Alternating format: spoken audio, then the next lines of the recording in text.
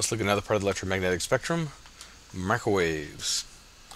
So here we have our microwaves. We're below, our see, uh, wavelength is shorter than FM. Energy is a little bit higher than FM radio waves. Anywhere from about a foot, it's 30 centimeters, to a little bit shorter, to uh, 0.3 centimeters. And with our microwaves, we do a couple things with them.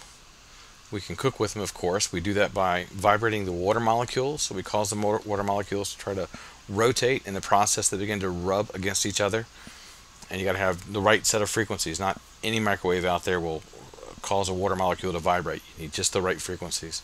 So if you ruin a microwave, you can actually throw them out of tune and they won't work. Uh, another way we use microwaves is going to be satellite imaging.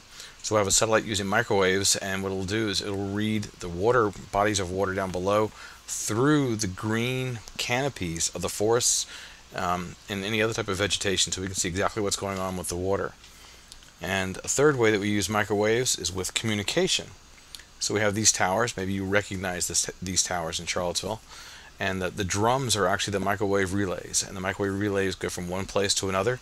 They send out a microwave of a frequency or a wavelength that's not made to heat up water. If that was the case, then you'd see a different problem happening with birds and migration patterns with the microwave. So they're not that kind of frequency. You're not going to cook with, with these drums and communications. Because it is part of the electromagnetic spectrum, microwaves, just like all parts of the spectrum, the uh, waves actually travel at the speed of light, 3 times 10 to the 8th meters per second.